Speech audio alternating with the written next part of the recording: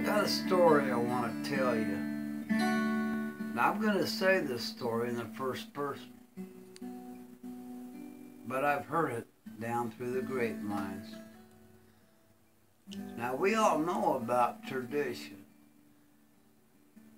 Oh, you know, tradition, you know, Christmas was Christ born on the 25th of December? Now, and what do rabbits have to do with Easter? Do rabbits have eggs? I don't think so. And Halloween, by the way. What do we celebrate? Well, I'm telling you. We've all learned to accept tradition as gospel truth. And I want to tell you a story. Maybe it'll give you a second look at tradition. And this story starts out kind of like this.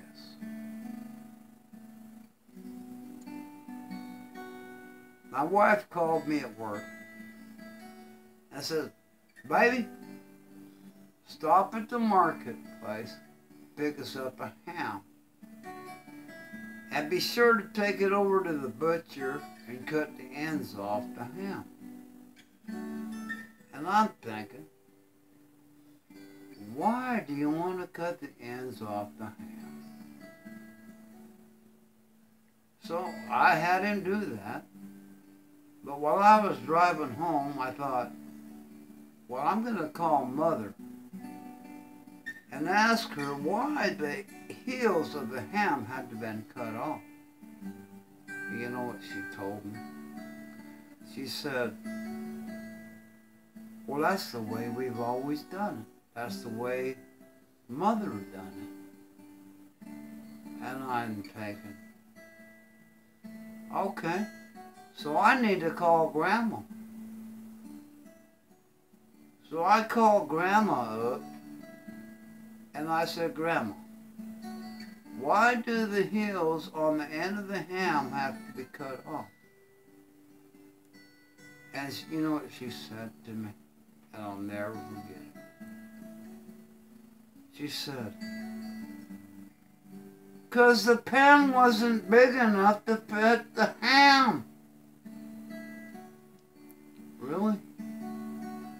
So all these generations we were cutting off the ends of the ham just because the ham wouldn't fit in the pan. Now that's tradition. Why? I do not know. But when you think about tradition, think about where it comes from. What does it mean to you? And is there any truth in it for the beginning of it all? But it's okay. You can believe in your traditions. But at least think about where did it come from? What is the truth of it all? And what does it have to mean to me? So please, I just want to relate that story to you. You'll be doing fine. But think about what you believe. What you believe in. You have to think about what you believe. You gotta know what you believe. Because what you believe is everything about you. And if it's not truth, it's a lie. If it's a false salvation, it's a wrong salvation. It's no salvation at all. Know what you believe and believe what you know. Keep searching. Keep looking. Know the truth. There is a truth, and it's the right way. And I want that for you.